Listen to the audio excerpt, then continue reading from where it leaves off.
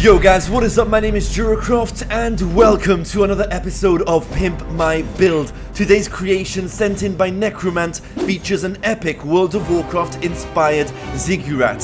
He has definitely done a great job with this demonic temple-like structure featuring some curved stone spikes and a large green gemstone which just peacefully hovers above this curious looking building. Today's transformation should definitely be quite a journey, so sit back, relax and enjoy. And today we are kickstarting this epic transformation with an incredible amount of terraforming. Using programs such as World Painter and a combination of commands, I eventually surrounded this entire valley in mountains and custom trees. Right guys, now pay close attention because this is where the real magic starts to happen.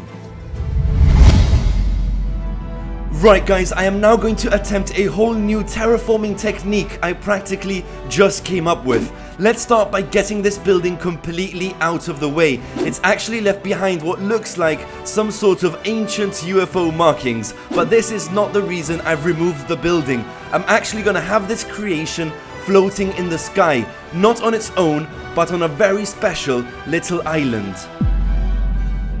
Now this is where things get crazy and honestly I have no clue how I came up with this idea. I first started off by creating a solid red stained clay mountain and then actually flipping it upside down. Now going back to the build, I then pasted the entire mountain into the ground and once again using commands I completely removed all of the red stained clay exposing a mountain like crater. After fixing the crater to make it look more appealing, I then moved on to the most important step, which was now to paste the exact same mountain right above the crater. All I had to do then was make sure to replace all of the red stained clay blocks with some grass and stone. Well guys, we have definitely made some serious changes when it comes to landscaping. I also later filled the crater with some lava, but it doesn't end there. In order to, well, stop our islands from floating away, we need to hold it down with some solid black chains. This also increases the overall fantasy look that I'm trying to go for. The whole idea behind using this terraforming technique was just to make it seem like an entire chunk of land has just detached off the surface of the earth.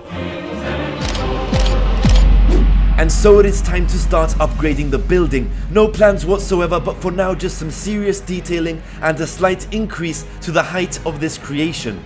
I'm keeping to the same sort of color scheme, turning the white pillars into large bone-like structures as an extra added feature. Now as for the gemstone, well, we're gonna make some simple changes, adding some green wool and some lime green stained glass for extra detail. Now with just a bit of experimenting, we're gonna take things a step further and add some effects using some green stained clay and some extra glass to make it seem like the gemstone is actually emitting some sort of aura.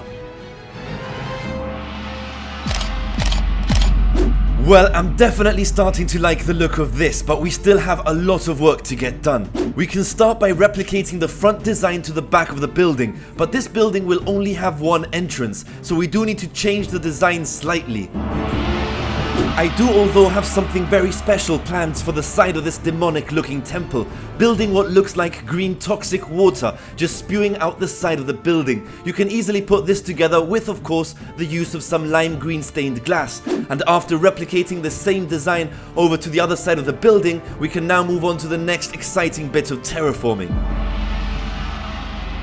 The idea was now to create a series of connecting streams of toxic waste, just slowly eroding at the surrounding landscape. It was probably more time consuming than building those mountains at the start of the video, but it was definitely well worth it, adding a lot of personality to this creation. You can just see how eerie this crater looks now that I've added a few layers of green colored glass. As if transforming the build and landscape wasn't enough already, we're gonna take things even a step further building four smaller gemstone towers right on top of different mountains within the valley.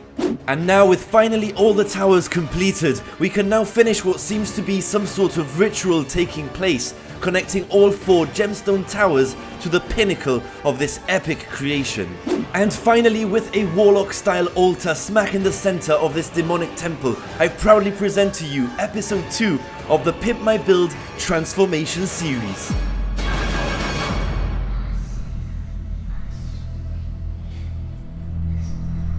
You have seen what I have seen. You know